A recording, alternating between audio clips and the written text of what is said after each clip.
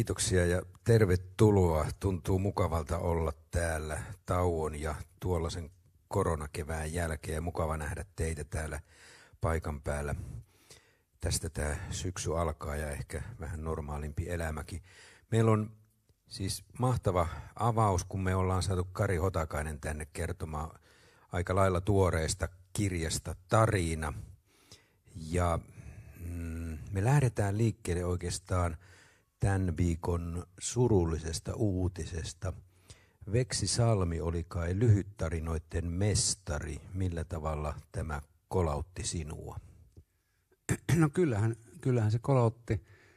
En henkilökohtaisesti tuntenut häntä. Hänen, hänen vaimonsa kanssa oltiin kyllä pitkän aikaa tuolla VSOlla töissä samaan aikaan.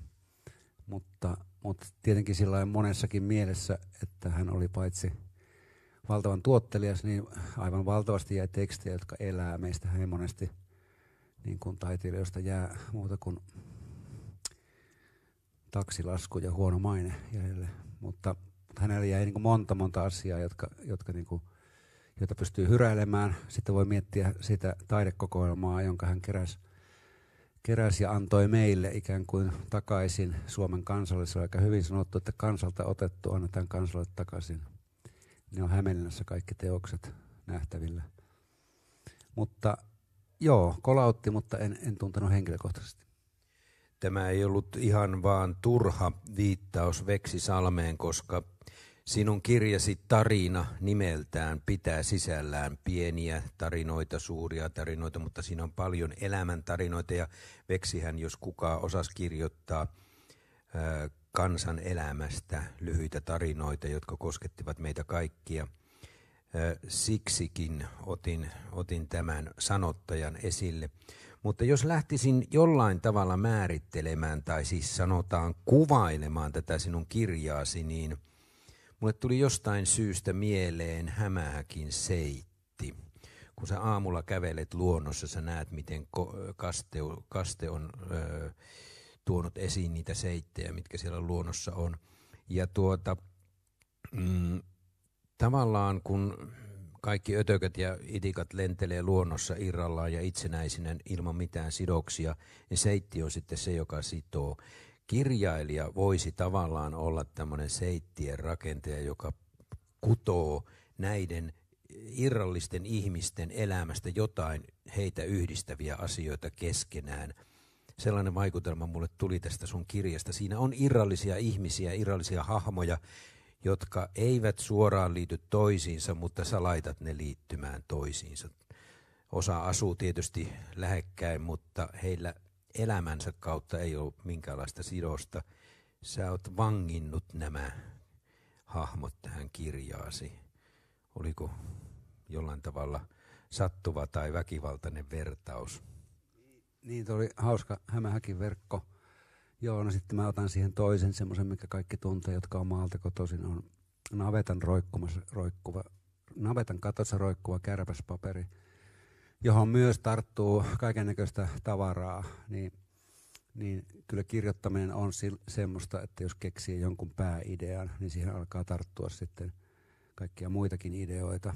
No näistä, tässähän talo, tässä kirjassahan on kerrostalo, missä ne asuu ne kaikki ihmiset, mutta niin kuin sanoit, niin niitä yhdistää vain muutama asia, mutta en mä halunnutkaan, että kaikki jollain tavalla sillä siististi liittyy yhteen. Mutta niin kuin jokainen, joka on kerrostalossa asunut, niin siellä on tietty tyyppi tai tiettyjä tyyppejä, joita tarkkaillaan tai sitten kiinnitetään huomiota enemmän kuin toisiin. Joo, ja sitten siellä on muitakin ihmisiä, jotka eivät asu tässä mainitussa kerrostalossa. Siellä on kauppakeskuksissa majailevia ihmisiä, mutta käydään se vähän aikataulua läpi ensin, että, että milloin sä aloitit tämän tarinakirjan kirjoittamisen?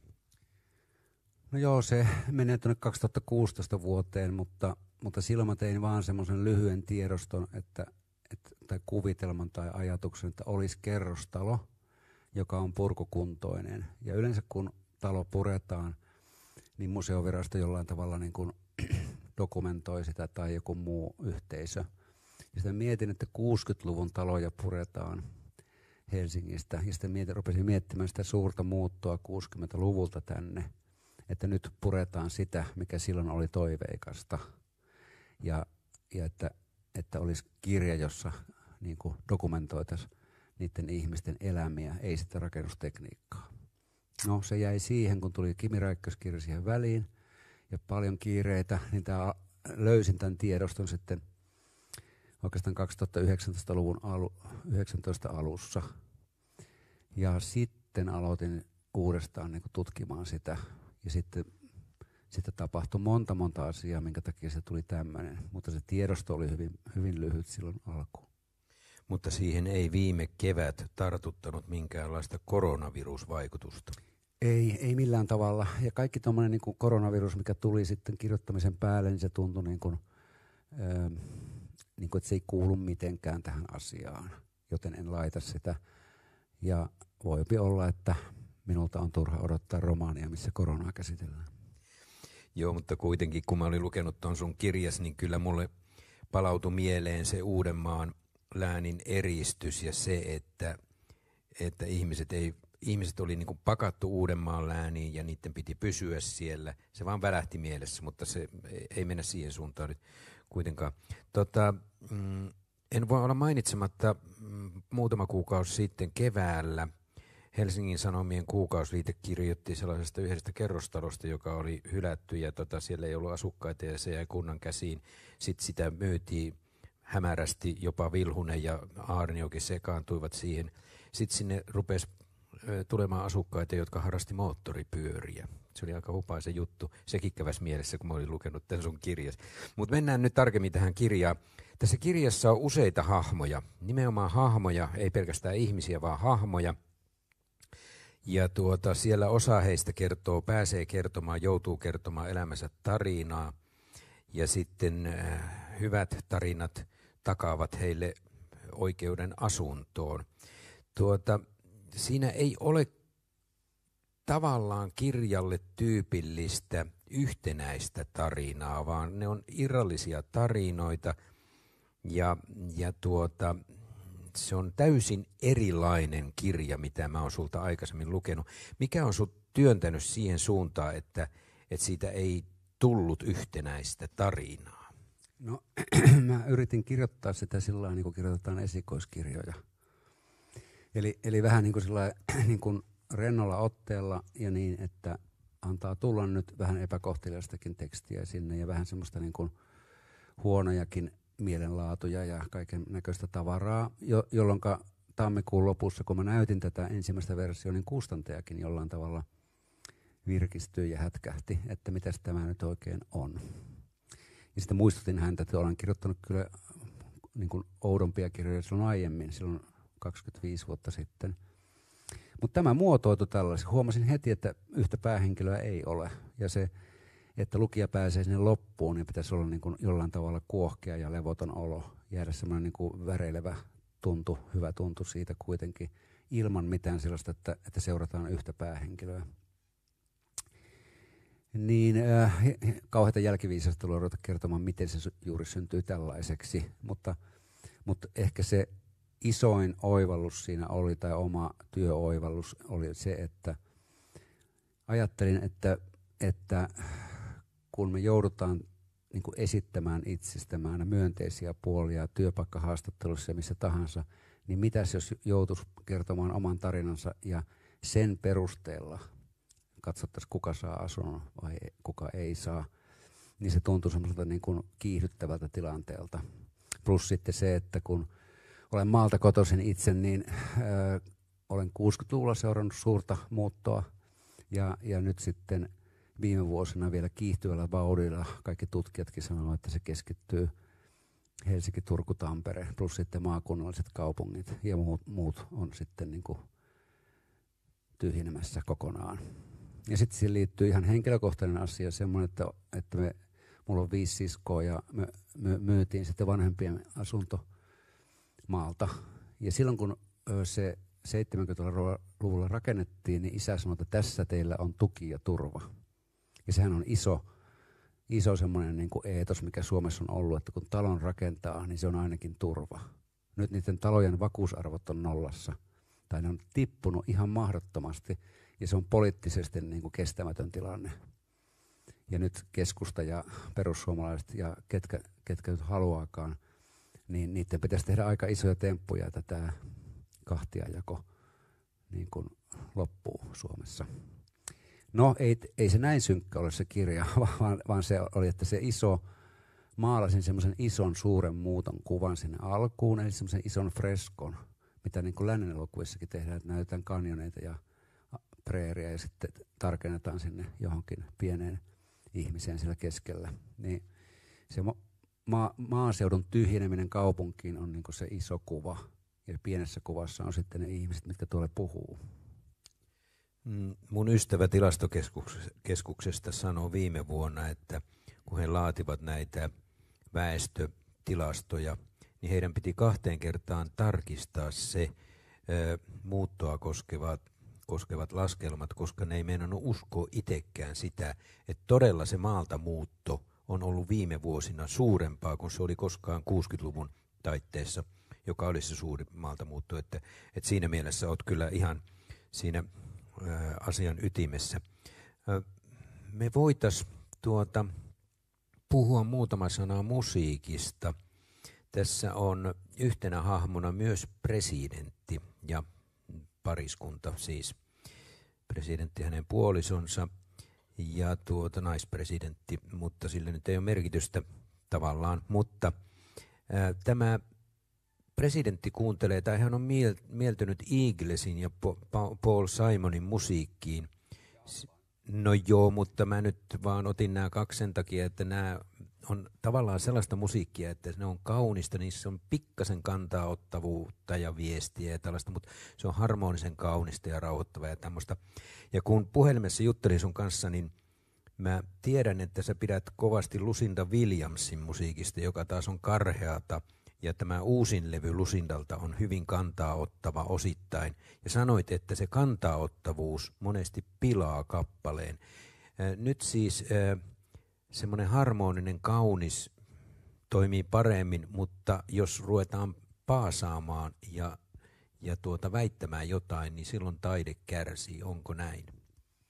Ää, aika usein. Aika usein käy niin, että jos sanottavaa on liikaa, niin se, se niin kuin – uuvuttaa koko kappaleen. Et sitten jos on oikein paljon sanottavaa, niin kannattaa käyttää mielipideosastoa lehdessä. Mutta se, miksi tuossa on Eagles-appa ja Paul Simon liittyy siihen ajatukseen, että presidentti on noin minun ikäinen aika, aika stressaantunut hahmo, niin hän elää maailmassa, missä suurvaltojen johtajat ovat arvaamattomia ja sekaisin ja se musiikki on hänelle vastapaino, että on, on jotakin täydellistä, täydellinen popkappale, missä ei ole mitään, se on rikkumaton, täydellinen popkappale. Niin se toimii niin kuin vastapainona hänen tressilleen. Sen takia otin nämä kyseiset artistit. Ne ei ole niin kuin suoraan, että ne on mun levyhyllyn aarteistoa, vaan ne on niin kuin tämän henkilöhahmon käsitys siitä, mitä on kaunis maailma. Kun ajatellaan kirjoittamista, kirjailijan työtä, niin jos hän laittaa henkilöt jotain saarnaamaan ja paasaamaan, tekemään jotain sellaista agendaa, mikä on kirjailijan oma agenda, ollaanko silloin menossa kohti suota? Ei, koska nyt, nyt niin kuin tuossakin, mitä presidentti paasaa ja saa kauheita äh, kohtauksia, niin nehän on niin kuin tietenkin minun kohtauksia. Minä olen sanonut ne kohtaukset ja pannut ne hänen suuhunsa – riippuu ihan siitä, mitä, mitä, mitä paasaa ja miten paasaa. Niin totta kai sitten, jos, jos, jos niin kuin on realistinen romaani ja siinä oikeasti niin kuin joku, joku paasaa jotakin yhtä agendaa siellä, niin ei sitä jaksa kuunnella, mutta tuossahan se on, on myös, niin kuin sillä on koomisia seurauksia hänen viimeisellä puheellaan, kun hän on avaamassa virkistysaluetta, entistä maaseutua siis.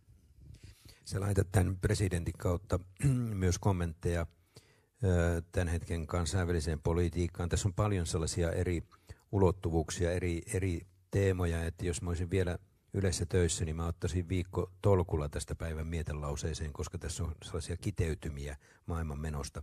Mutta presidentin kautta sä laitat myö, ö, myös niin kuin, ö, tai tuot esille sen, että, että niin kuin suurten valtioiden johtajat eivät perustakaan päätöksiä järkeen, vaan tunteisiin ja ei, ei faktoihin, vaan tunteiden nopeaan ilmaisuun.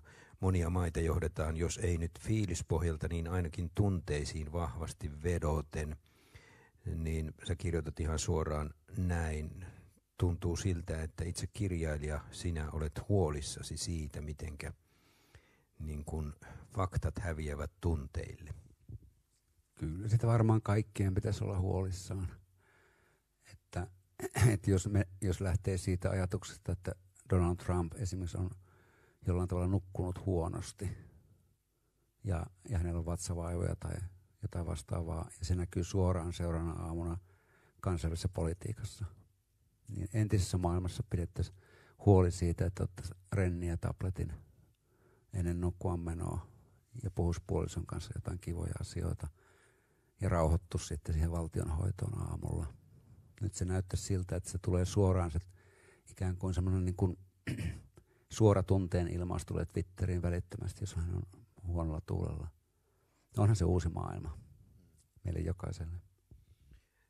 Puhutaan tarinallistamisesta.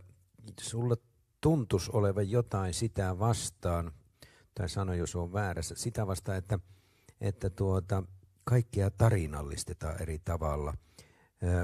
Tarinallisuus on tunkeutunut ja, ja tavallaan semmoinen kaupallinen tarinallistaminen on tunkeutunut joka paikka. Et enää ei myydäkään. Tämä muuten on sama kuin kun tavallaan mm, juoksuhaudan tiessä, että asuntoja myy, myydessään se tarinallistetaan se asunto ja kaikki niin kun ostat mitä tahansa, niin si, kun siihen kytketään tarina, niin sitä käytetään myyntivalttina. Ja tuota, tämä tarinallistaminen on tunkeutunut sitten sun ammatin tontille. Ja tuota, se tavallaan syö. Sä kirjoitatkin sitä, että kirjailijoiden rooli muuttuu täysin tai on muuttunut täysin tai aika, aika lailla paljon, niin, niin mikä tässä tarinallistamisessa sua, sua niin kuin haittaa?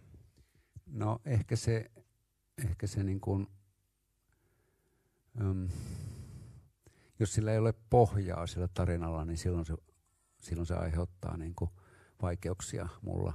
Että jos ajatellaan isoja yrityksiä, jotka on ollut pitkään toiminnassa, niin mulla ei ole mitään sitä vastaan, että mä luen Fiskarsin tarinan jostakin yrityshistoriikista, että sillä on oikeasti joku tarina, ja se tarina liittyy siihen, että on pitänyt, on haluttu keksiä joku käytännöllinen vehje, joka parantaa meidän toimintaa puutarhassa tai keittiössä – ihan samalla kuin metsäkone Ponssella on joku tarina, minkä takia Ponssen ää, perustaja Enri Wigren oli metsätyömies ja hän, hän tuskastui siellä metsässä siihen, että se on niin raskasta se työnteko. Hän keksi metsäkoneen, antoi sille koiransa nimen Ponsse sille koneelle. Niin se on oikea tarina, koska se on totta. Ja se ei ole pelkkä, että ne ei myy mielikuvaa metsäkoneesta, ne myy metsäkoneen. Ja sitten se niin kärjistyy sillä että olin, olin itse pohjoisessa matkalla ja multa oli jäänyt puukko kotiin. Ja menin sitten hakemaan puukkoa. Ei ollutkaan mitään koorautaa lähellä, vaan siinä oli joku, joku eräliike tai joku vastaava. Menin ostamaan puukkoa, niin sanoi, että tällä puukolla on erityisen hieno tarina. Mä että no hyvä, mutta onko se terävä ja sopii käteen? Haluatko kuulla tämän tarinan? En halua sitä tarinaa, haluan sen puukon. Eli se menee niin kuin sillä joka paikassa. Se on, ja sitten suomalainen, kolme suomalaista miestä keksi, että, että meillä ei ole vielä tarpeeksi hyviä rannekelloja. Ne keksi rannekellon kolme vuotta sitten. Keksi sille kummallisen nimen, ja ensimmäinen juttu, minkä ne laittoi nettiin, on heidän tarinansa. Sen rannekello oli siinä vaiheessa kuusi minuuttia vanha. että se oli niin kuin keksitty eilen, mutta heillä oli pitkä tarina – Tämä, menee, tämä lävistää niin kuin joka asian. Ja se, jos menee kauppaan, niin siellä on melkein jo, elintarvikkeillakin on, on tietyllä annetaan mielikuva siitä, että ne on isoja äidin lihapullia. Sitten voi kuvitella saarioisten tehtaan, missä on 400 mummoa sillä kellarissa pikkukätösillään tekemässä niitä. Se on mielikuva. Tai prinssinakkeja. Niin Prinssinakin keksiä on tässä kirjassa. Jos haluatte, haluatte tietää, miten Prinssinakin on keksitty, niin tämä kirja on hyvä. Se löytyy, löytyy sieltä. Hyvä ohje Mutta mut mehän tehdään tätä koko ajan. Me tarinallistetaan itseämme. Sä et ole Facebookissa, mutta moni meistä on. Ja me tarinallistetaan koko ajan meidän elämämme sinne. Me tehdään sitä, sitä ö, joka arkipäivä sitä, mitä nämä ihmiset joutuu tekemään tässä, kun heidän täytyy kirjoittaa elämäntarinansa. Mehän tehdään tätä ja se on, se on tavallaan niin kuin vääristänyt meillä sitä, että, tai minulla ainakin sitä, että kyllä mä aika positiivisesti sinne itsestäni kerron kaikkia asioita, että, että en ehkä koko totuutta kerrokaan. Tämä, tämä hämärtää sitten sitä, sitä niin kuin totuutta ihan oikeasti. Tota, mm, mennään nyt seuraavaksi tästä tarinallisuudesta tuohon maaseudun autioitumiseen vielä, vielä vähän tarkemmin. Tässä on sellainen kohtaus, sä kirjoitat, tilanne on tämä. Maaseutu on muutettu virkistysalueeksi, kaikki asuvat kaupungissa, ammatit ja työnkuvat ovat muuttuneet tai kadonneet kokonaan. Kukaan ei löydä paikkaansa, asiat ovat karanneet käsistä, päättäjät ovat pulassa – Tämä kirjahan sijoittuu jonnekin tulevaisuuteen. Sä et sitä näytä, mikä se on, mutta tämähän on tulevaisuuden kauhukuva. Tai realistinen öö, kuva. No joo, en kauhukuvaa en käyttäisi, mutta sanotaan niin, että jos, jos tämä pöytä on niin kuin 2020, eli tämä nyt tämä todellisuus, niin tämä, tämä romaanin kuva on pikkusen heilahtanut pöytä ja noussut vähän ilmaan tuosta noin. Ei sen kummempaa. 2-5 vuotta tästä on aj- ajatus niin kuin tämän, tämä kuva. En mä niin kuin, ö, kauhukuvaa oikeastaan ole tarkoitus piirtää, vaan semmoinen mahdollinen, ö, mahdollinen maailma, mikä voi olla meillä. Esimerkiksi se, että, että ei painettuja kirjoja, ne on harvinaisia, on vain äänikirjoja. Se voi olla ihan totta muutaman vuoden päästä. Sitten kauppakeskukset, joita on rakennettu nyt, nyt – jo tämän romaanin aikana on rakennettu kaksi isoa Helsinkiin, noin viiden kilometrin päähän toisistaan. Ja mun tyttäret on nuoria aikuisia ja ne ei osta mitään. Niin se, eh, se tilanne, että kauppakeskukset muutetaan asunnoiksi ja Björn Porin alusvaateliikkeessä asuu ihmisiä, se on muutettu yksiöksi, niin ei ole mikään kauhukuva, vaan se on vaan mun mielikuvitus, että miten niille käy niille kaikille kaupoille, kun ne menee konkurssiin. Voivat mennä konkurssiin siis. Niin, ja onhan se nähty jo Redissä ja Triplassa, että, että autiotahan siellä on. Niin, koska se, sehän liittyy siihen, että, että jos rakennetaan kauppakeskuksia, niin silloin ajatellaan niin, että, että meidän lapset ovat pääsääntöisesti kuluttajia Tässähän osa ihmisistä tosiaan majoittuu kauppakeskuksiin, nukkuvat siellä ja tuota, pyr- pyrkivät saamaan oman, oman sijansa sinne. Sinnehän on tuotu lehmäkin. Niin joo. Jos se pitää aina mainita tässä yhteydessä, joo. että kaikki ei ole niin huonosti. joo. Tässä kirjan alussa on jo aika pitkä kappale. Mun tekisi mieli lukea tästä ainakin aika pitkä osa. Maan päällä olevat talot ja ihmiset eivät meinanneet millään lähteä irti. Piti käyttää rautakankea, imartelua, suostuttelua, kaivinkoneita, etuseteleitä, uhkailua ja uskoa tulevaisuuteen. Puhuttiin, painostettiin, neuvoteltiin, annettiin ymmärtää, että lähtekää, kerätkää kimpsut ja kampsut, jättäkää talot ja pellot, antakaa periksi, vaikkette anteeksi. Kaikki, oli, kaikki on ohi, kurkiaurat ryhmittyvät ja ryhmittyvät jo pellon laitaan ja nousevat kohta kauhealla kaakatuksella ilmaan. Ottakaa niistä mallia, astukaa tsekkiläisiin ja japanilaisiin autoihinne ja painakaa kaasua. Hyvästelkää talot, jotka vanhempanne rakensivat, hyvästelkää talot, jotka itse rakensitte. Painakaa poskenne puuhun, jonka oksalle keinun ripustitte. Painakaa mieliin ne sumuiset äänettömät elokuun illat ja niin edespäin. Tämä, on, tämä toi mulle mieleen jopa pätkän raamatusta, missä Mooses lupasi kansalle luvaton maan, että nyt lähetään koko sakki täältä. Tässä, myös tässä tekstin muodossa on vähän tällaista raamatullista kerrontaa. Mutta näinkö suuresta muutosta kerrot, että vedetkin aukeavat ja kansa marssii? No, siinä on nyt käytetty niin kuin isoa pensseliä ja maalattu isoa maisemaa. Joo, totta kai raamatusta, raamatusta, jos ei muuta, niin sieltä aina saa rytmiä. Ja rytmiä saa Lauri Viidan Morenista, rytmiä saa aika monistakin kirjoista ja omasta mielestä. Ja sitten se, että kun puhutaan tuommoista muutosta, niin se on se kirjoitustapa on silloin pitää olla niin kuin yksityiskohtainen ja jylhä, että se lukija uskoo sen, että näin on asia. Jos se lukee vain, että maaseutu on tyhjennetty, niin se, on, se ei niin kuin riitä. Se yrittää niin kuin näyttää semmoisen ison maailman muutoksen, johon lukija lähtisi mukaan. Ja nyt jos katsotaan näitä koronavaikutuksia, niin kyllähän Lapin virkistysalueet ovat pulassa. Siellä on täysi autiota, sinne ei mennä enää.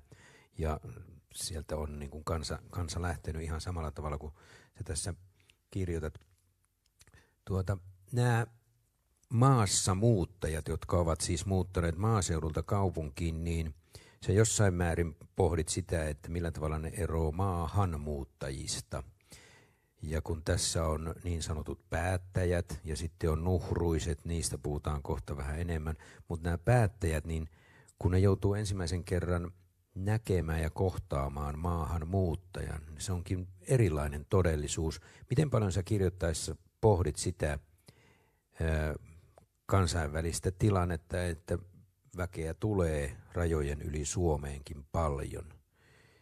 Sä kuitenkin kirjoitat maassa muuttajista enemmän. Joo, no toi liittyy pitkälti semmoiseen asenteeseen, mikä, mikä huo on havaittavissa, kun päättäjät puhuu jostakin asiasta. Esimerkiksi Talvivaara oli suuri tragedia Kainuussa.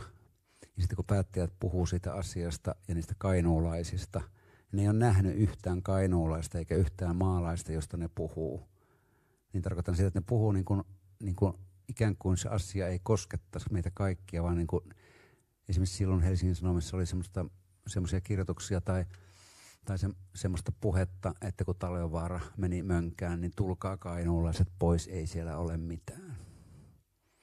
Niin tarkoitan, että, se, että käsityskyky siitä, ketä siellä asuu, minkälaista porukkaa siellä asuu, on hyvin, hyvin ohut. Ja ajattelin sitä, että, että samaten kuin maahanmuuttajista tai turvapaikanhakijoista, niin eihän me puhuta yksilöinä niistä mitään, vaan puhutaan niin ikään kuin jostakin sakista, eikä yhtään, että eihän me tunneta ketään niistä. Niin se, se tuli siihen romaaniin niin kuin luontevasti, että, että Jan Vapaavuori vaikkapa esimerkkinä, jos hän puhuu kaupungistumisesta ja siitä, että tänne pitää tulla ihmisten, niin ei se niistä niin kuin edellytyksistä varmaan tiedä niin tarkkaan – että mitä tarkoittaa, kun joku haluaa tulla Helsinkiin. Niin siinä on maksumuuri siinä Helsingin ympärillä ja Vantaan rajoilla. Että tämän enempää et tuu tänne päin, koska ei sulla ole rahaa siihen asuntoon. Ja sittenhän tässä oli jännä, kun koronan yhteydessä oli tämmöistä osittain romanttistakin puhetta, että, että nyt sitten maaseutu taas vetää.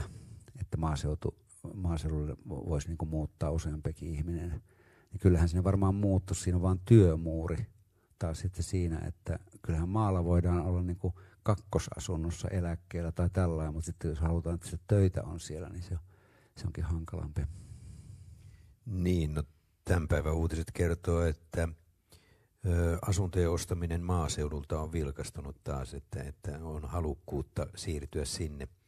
Mutta Mm, kerropas näistä päättäjistä. He ovat hyväosaisia, mutta he ovat todellakin kaukana siitä joukosta, joiden, joihin heidän päätöksensä vaikuttavat. Siis valtaa pitävät päättäjät. Kerro heistä. Ne on kasvottomia, ne on ylempää keskiluokkaa, niillä ei ole käsitystä niin kuin oikeasti niin kuin hankaluuksissa olevista ihmistä mitään. Ja se, se myös näkyy niin kuin, paitsi päättäjissä se näkyy niin kuin nykymediassa, kun nykymedia, niin kuin sanotaan Helsingin Sanomat, tekee juttua Kontulasta, niin sinne matkustetaan aivan niin kuin johonkin niin kuin vaaralliseen kohteeseen ja kirjoitetaan sieltä jotakin juttua, jossa puhutaan, että siellähän oli ihmisiä ihan humalassakin. Niin ne jotenkin semmoinen ko- koomisia juttuja sillä lailla, että silloin kun me aikoinaan muutettiin perheen kanssa Maunulaan, niin joku, joku keskustan, keskustassa asuva työkaveri sanoi, että sehän on vaarallista seutua. Mä en niin kuin kolmeen vuoteen nähnyt siellä niin kuin, niin kuin mitään merkkiäkään mistään vaarallisuudesta. Mutta se oli me, toimittajat oli jo tehneet sen valmiiksi vaaralliseksi niillä jutuillaan aiemmin, jolloin siitä, se ei päässyt sitä maineestaan irti. Jos niin tässä romaanissa oikein tahallaan on pantu ne päättäjät niin semmoiseksi torveloiksi, jotka ei niin kuin, jolle mitään käsitystäkään, ne vaan pelkää sitä, että hupsista, että nyt nämä maalaiset tulee tänne, että osa niistähän on semmoisia, jotka haisee varmasti pahalle ja eivät osaa käyttäytyä. Ja se sama olotila oli silloin vuonna 1976, kun mä tulin Helsinkiin opiskelemaan, niin mä sain kuulla olevani heinäkenkä esimerkiksi, joka oli mulle niin kuin eksoottinen sana. En ole koskaan kuullutkaan sellaista sanaa, mutta junttihan se tarkoitti. Niin se, oli, se nimittely oli silloin niin kuin ihan suoraa heti. Niin, niin tämä on tietysti niin kuin 40 vuoden takaa tulee kosta. Sama kävi mulle. Asuntomme, rivitalomme EVP suuttu minulle ja sanoi, että noita tuommoisia pönttövuoden läpi tulleita ei täällä tarvittaisi. Se oli, Joo. se oli kans 70-luvun loppu. Joo, ja sitten lievempi niin ilmaisu oli junan tuoma. Joo. Joo. Mutta tuota, ää, sitten on päättäjien turvana on, ah, mä unohdin mainita, kun, kun sä puhuit Kontulasta, niin nythän sinne eräs taiteilija luo uutta ilmettä. Ne, he aikovat tuota maalata valkoisuutta paljon Kontulan ostarille, niin siitä tulee iloisemman tuntunen alue. Hyvä. hyvä. Tässä on ehkä samanlaista niin kuin, äh, ulkoa tuotua äh, näkemystä siihen. Mutta päättäjät ei pysty tekemään ilkeitä päätöksiä tässä sun kirjassa. He tarvitsevat jonkun, joukon, joka toteuttaa ne kaikkein ilkeimmät, vaikeimmat valinnat, kuka saa asunnon, kuka ei. Ja siihen sitten valikoituu nuhruiset. Mistä sä tällaisen joukon kuin nuhruiset keksit? No se on ihan siitä, että meillä on paljon akateemisia työttömiä. Ja se huomaa siitä, että niitä on muun muassa taksikuskeina. Tässä romanissa taksikuskina on teologian maisteri. Ja siinä ei ole mitään liiottelua. Että akateeminen työttömyys on niin kuin isoa Suomessa. Ja mä ajattelen sitä, että, että, että päättäjät huomaa, että hetkinen, täällähän on fiksua porukkaa, jolla ei ole paljonkaan mahdollisuuksia niin kuin edetä ja saada työpaikkaa. Ja tota, he, he niin kuin hyväksi käyttää niitä nuhruisia, ettei tarvitse käsiä liata itse. Niin se on semmoinen karkea, karkea liiottelu tietenkin, mutta mut niitä on paljon. Se, mikä tuossa on niin kuin virhe tuossa kirjassa, on se, että siellä – yksi nuhruisesta on psykologi ää, Ilona. Ilona ja tota, se ei pidä paikkaa, että psykologeilla on kyllä töitä. Mutta se, silti otin sen siihen, koska tunnen nuoren psykologin. Otin sen sen takia. Ehkä sen takia, että Ilona sitten, ajatellaan, että Ilona ymmärtää niitä elämäntarinoita ja, ja osaa tehdä valintoja. No, nämä nuhruset saavat tehtäväkseen pyytää Raatteen-tie 60, 62 kerrostalon asukkailta tarinoita.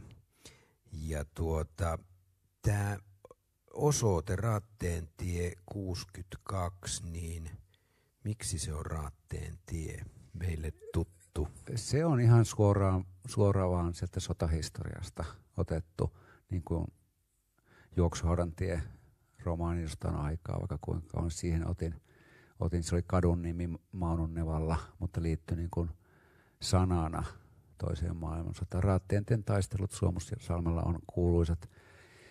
Raatteen tie 62, 62 sen takia, että ajattelin, että se on noin 60, 62 rakennettu, 60-luvulla se talo ja se puretaan. No se on vain semmoinen silmän isku vanhemmille lukijoille, sanotaanko näin, että ei se, ei se sen kummempi ole, että siinä ei ole mitään siinä ei ole haettu oikeastaan huumoria eikä mitään, se on vaan nimetty sen takia, että joku voi sen muistaa. No onko sitten sattumaa, että siellä on rahikainen, että siellä tulee niin kuin linna kuitenkin mieleen, Väinölinna mieleen? No ei, se on, se on ihan vahinko. Ei, ei, ei Väinölinna niin kuin ollut mielessä tässä koko aikana. Että niin Kai Rahikainen, joka on tuossa muuttanut nimensä Kai Rahikiksi.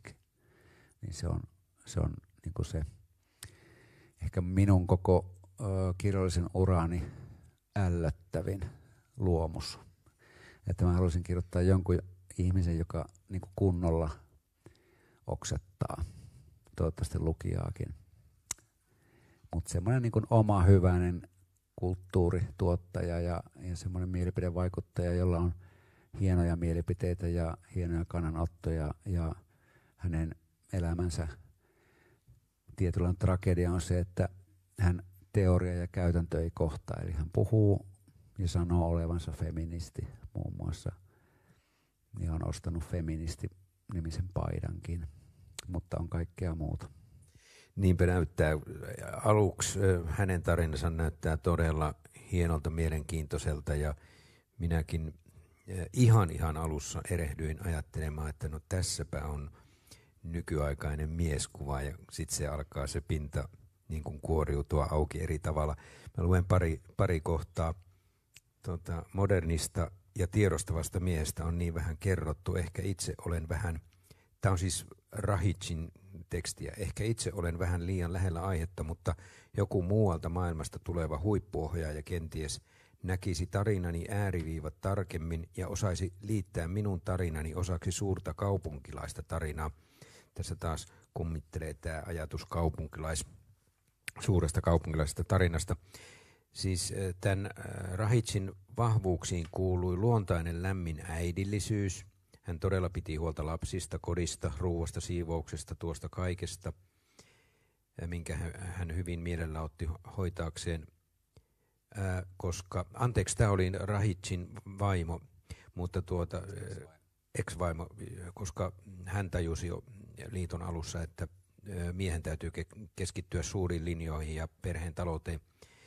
Mutta tuota, tämä mies, niin sä kirjoitat yhdessä kohdassa hyvin tuota, tästä miehestä, ja tämä osoittaa myös sun tekstin tarkkuuden ja hyvyyden.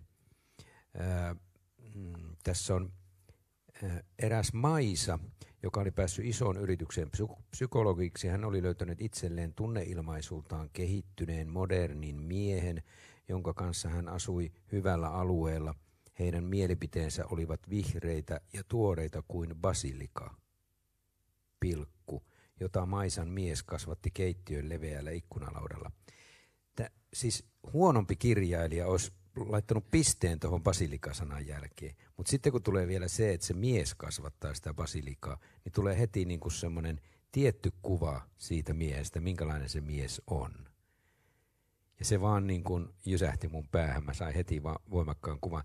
Tässä Rahitsissa on jotain samanlaista, että hän tosiaan ensin niin kuin osoittaa sen, miten feministinen hän on ja miten hän huolehtii uudesta vaimostaan ja miten tuskallinen oli ero ensimmäistä vaimosta ja miten lapsi on kuitenkin hyvät suhteet. Mutta sitten se alkaa kuoriutua auki koko ajan. Se on, se on tavallaan niin kuin se, mitä se mies haluaa kirjoittaa julki, someen, mihinkä tahansa, tässä tapauksessa Ilonalle elämäntarinansa, niin aika valheellisia nämä ihmiset on. Siellä on muitakin, jotka kirjoittaa näitä elämäntarinoita ja sitten ne ilmoittaakin jälkeenpäin, että – en mä olekaan plastikkakirurgi. Joo, mutta siinä on ihan iso ero, että Rahits tekee tämän koko kaiken niin kuin tietoisesti ja, ja ää, iloisella mielellä ja oikein omahyväisesti. Mutta sitten siinä on tosiaan tarina, joka alkaa niin, että, että eräs henkilö väittää olevansa plastikkakirurgi. Hän tekee sen niin kuin hädissään, valehtelee ja kertoo oikein yksityiskohtaisesti erästä leikkauksesta, jonka hän on suorittanut. Ja sitten niin kuin lisät tietoja halutaan hänen elämästään, niin hän ilmoittaa, että anteeksi, valehtelin kaiken, olen pussikuski. Niin sen minun niin kuin myötätunto on ikään kuin sen puolella, että se jout, niin kuin saadakseen asunnon niin kuin väittää kaikkea ja valehtelee ja huijaa hädissään. Mutta Rahis on ihan sitä mieltä, että hän on ihan ihan niin kuin selvä juttu, että hänelle myönnetään asunto. Että ei hän ole hädissään ollenkaan siitä. Ja se, se taas on niin kuin, sitä oli niin kuin mukava kirjoittaa, koska mulla on kun kirjoittamisen motiiveja kysytään aina, niin niitä kauniita motiiveja on niin kuin montakin. Kirjailijat aina esittää niitä paljon, niitä kauniita motiiveja. Mutta yksi motiivi, mikä aina unohtuu, on kosto. Ja mähän te, kirjoitan myös koston, koston haluisena, koska olen kymmenen vuotta kuunnellut erilaisten mediavaikuttajien niin kuin omahyväistä puhetta ja niiden esittämistä, että kuinka ne on niin kuin, suurin piirtein kuin Me Too tuli sanotaan vaikka, että jos MeToo olisi eilen tullut julki MeToo-jutut, niin on keskiviikkona sitä mieltä, että me ollaan aina oltu niin kuin MeToo-ihmisiä. Eli tämmöisiähän on hirveän paljon, jotka somessa nimenomaan niin kuin ilmoittaa olevansa jotakin. Ja sitten kun tuntee niitä tai tietää niiden elämästä, niin, niin tajuaa, että se on ulkokultaista höpötystä. Niin mä oon tämmöistä niin kuin kostonhimoisena odottanut hetkeä, milloin minä saan kirjoittaa tämän Rahikin hahmon. Se, mikä erottaa tämän tarinakirjan sinun monista muista kirjoistasi, on se, että tässä ei ole pakkomielteisiä ihmisiä. Mä en ainakaan löytänyt. Se on, kyllä, se on kyllä hieno juttu. niin Minä olen siitä kyllä helpottunut. Ja sinä vielä huomasit ulko, ulkokohtaisesti tai ulkopuolisena lukijana sen. Niin. Mut, se on jo saavutus. Se on varmaan, niin piti 38 vuotta kirjoittaa, että pääsee eroon niistä.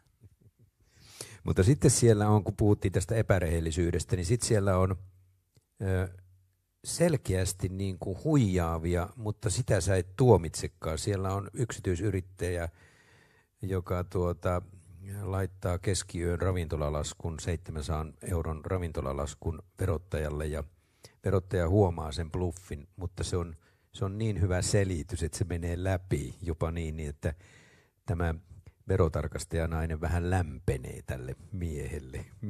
Mistä tällainen niin kuin tuomitsemattomuus? No mä oon itse ollut, ollut 35 vuotta naimisissa suurin piirtein.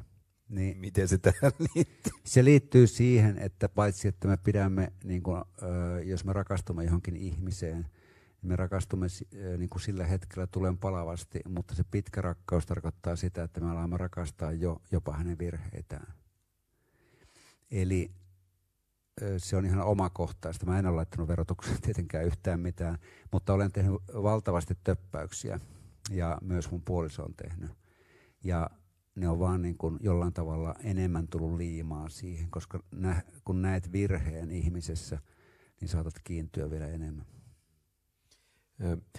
Keskiosassa tätä kirjaa on sellaisia kaavakkeita, mitä nämä kerrostaloasukkaat saavat. Heidän täytyy niihin kirjoittaa näitä elämätarinoita ja selittää sitä elämäntilannetta. Ja sitten siellä on rastiruutuosiot ja kaikki nämä tuota, mm, tällaista vähän niin kuin sosiologista tiedon keruuta.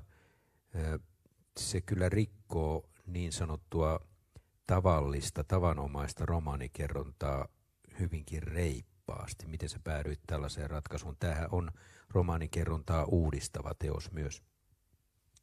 No se tuli ihan, mä en ole ajatellut koskaan sillä niin kuin näissä kirjoissa, että onko, kirjoittaako itse kokeellista kirjaa vai mitä kirjaa kirjoittaa. Se ei ole niin kuin olennaista, vaan olennaista se, että liittyykö tämä, että onko tämä kaavake nyt tässä niin kuin – oikeasti tarpeellinen ja ihan olennainen. Ja sitten kun mä huomasin, että se on olennainen, niin mä otin sen riskin, vaikka se rikkookin sitä, niin siinä on myös semmoinen rytminen asia, että kaikki nämä, jotka kirjoittaa lomakkeita, ei ole yhtä hulluja ihmisiä.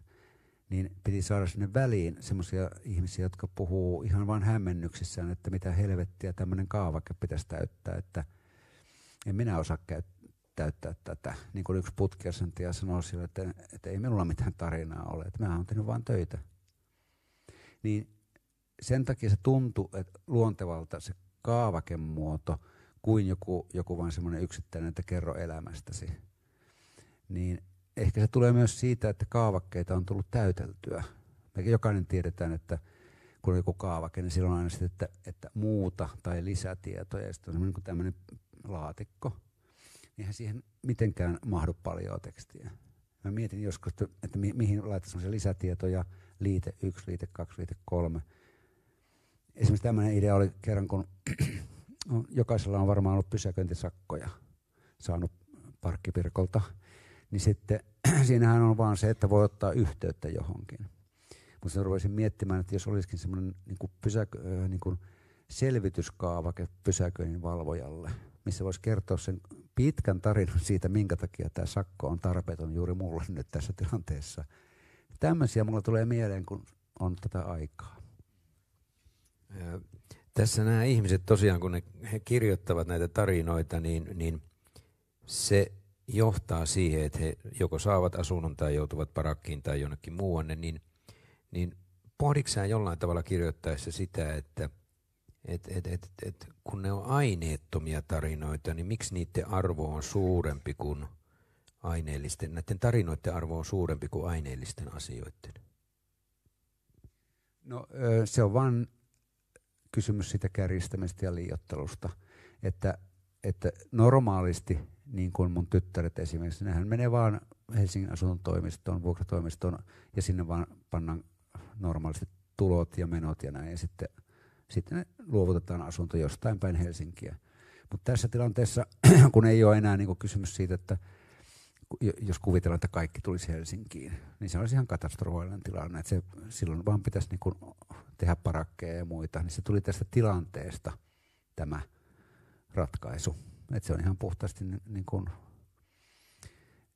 sellainen niin kuin romaani kaipaa jotenkin semmoista niin kuin kitkaa, että minkä takia minä kirjoittaisin oman elämäntarinan. Silloin kun tämä aihio oli 2016, se tuntui niin kuin hassulta, että, että kirjoittaisi kirjan, missä jokainen vaan kertoo oman tarinansa. Niin että mistä se jännite tulee siihen sitten. Ja mä että tästä tulee jännite, että joku lukee ne ja kysyy lisäkysymyksiä, niin kuin Rahikilta esimerkiksi tämä Ilona pyytää vähän lisäselvityksiä. Ja siinähän käy lopulta niin, että Rahikin tytär saa myös, myös niin kirjoittaa isästään pienen selvityksen. Kerropas sitten Mm, millä tavalla tarinaan tulivat mukaan eläimet? No, ihmiset ovat muuttaneet maaseudulta pois, maaseutu on autioitunut, eläimet pääsevät siellä temmeltämään sitten villisti. Siellä on supikoira, siellä on muumipeikko. Mistä putkahti muumipeikko tähän tarinaan? No, koko eläinjuttu tuli siitä, että mä oon nyt kahdeksan vuotta ollut semmoinen kesäpaikka peltojen keskellä, semmoinen maapaikka – ja meillä on ollut nyt seitsemän vuotta koira. Niin mä oon sille koiralle jutellut nyt huomattavasti enemmän kuin puolisolle näinä vuosina, koska se on mun työhuoneessa koko ajan. Mä puhun sille näitä juttuja, mitä no nyt ihan samoja juttuja kuin sulle, mutta kuitenkin.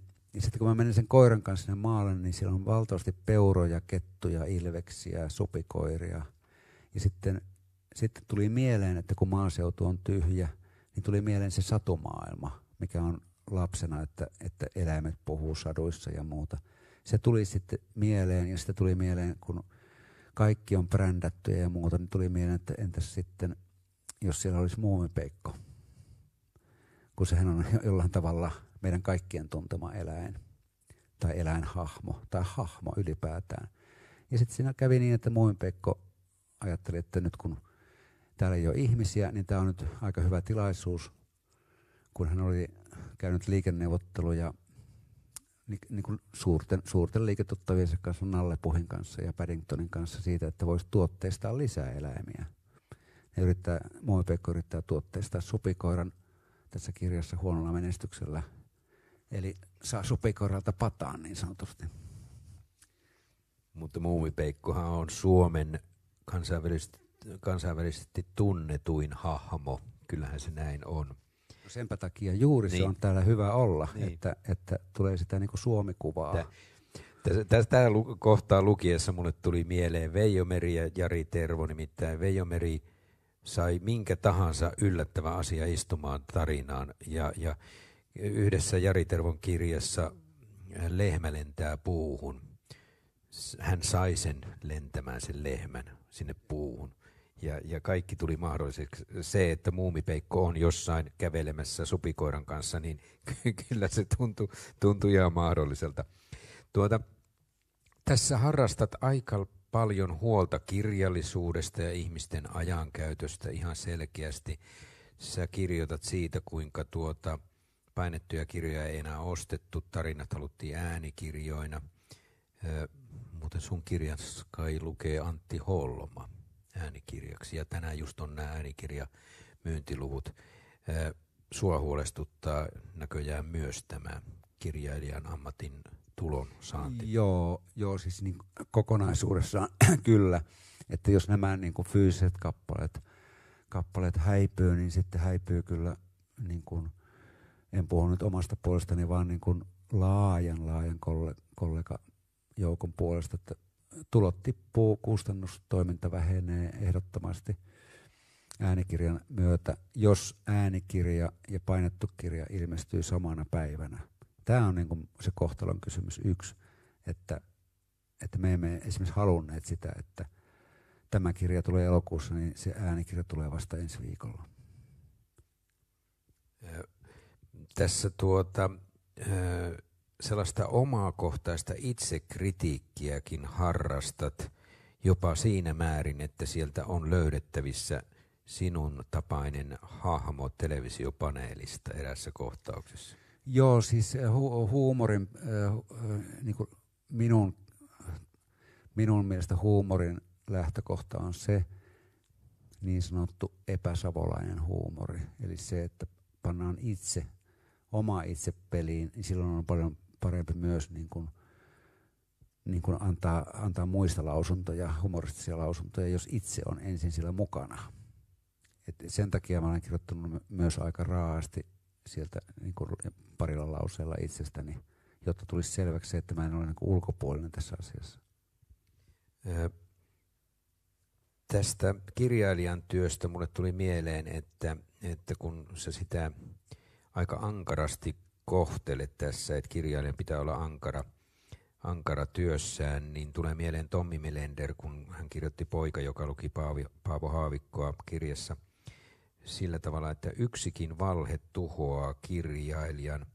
Ja jotenkin mä aistin, että sä haluat sanoa, että kirjailijan ei pidä kirjata ylös ja matkia elämää koska sä kirjoitat lauseen huono taide matki elämää eikä tuonut siihen mitään lisää. Siis kirjailija ei onnistu, jos se yrittää matkia elämää. Niin, tarkoitan sitä just, että jos, jos kirjoittaa kirjan siitä, mitä näkee ja siitä, mitä A-studiossa kerrotaan, vaikkapa nyt ihan otetaan ulkokohtaisesti esimerkki vaan, että Kaipolan tehdas suljetaan. Jos kirjailija kirjoittaa suoraan siitä, että tämä on nyt aihe, että se tehdas suljetaan, eikä tuo siihen oikein mitään muuta kuin kirjoittaa realistisen asian romaanin muotoon, niin silloin ei kannata kirjoittaa oikeastaan, koska se, on, se kuva on nähty jo, että sen pitää tuoda jotain, jotain lisää niin kuin siihen asiaan. En minäkään voi kirjoittaa kirjaa, että maaseutu on tyhjennetty piste. Ja sitten kerron, että mitä siitä seurasi. Että kyllä mä yritin miettiä sen sillä lailla, että, että kuvaan niitä eläimiä ja kuvaan sitä tilannetta laajemmin. Ja kun kirjasi alkaa tällä vähän raamatun tapaisella suurenmuuton kuvauksella jo kielen rytmin puolesta, niin lopetetaan tämä myöskin vähän raamatulliseen asiaan. Tässä kirjoitat Jumalan vuorotteluvapaalla olosta tai Jeesuksen. Jumala otti poikansa elämästä pois ja palautti hänet muina miehinä parin tuhannen vuoden jälkeen – ikään kuin Jeesuksen olisi noin vain mahdollista käsittää kaikki ne mullistukset, joita ihmiskunta on käynyt läpi hänen tietynlaisen vuorotteluvapaansa aikana. Ää, aika isoja heittoja heidät, mutta tottahan se varmaan olisi, että kyllä siinä huuli pyöreänä olisi. Niin kuin tämä nyt äh, irrotit yhteyksistä, tämän sitaatin niin täytyy, täytyy niin sen verran sanoa, että tämä, tämä kyseinen kohta liittyy siivooja Mirjam Enniseen, joka kertoo olevansa paitsi siivooja, niin Kristuksen morsian. Ja hän, hänen luokseen tulee Jeesus tässä romaanissa. Ja Mirjam Enninen uskoo vakaasti, että se on Jeesus ja, ja uskoo myös, kun Jeesus katoaa sitä asunnosta, niin hän uskoo, että Jeesus tulee takaisin, koska jätti korvakuulokkeensa sohvalle. Ehkä, ehkä nyt on syytä lähteä minunkin kotiin tästä.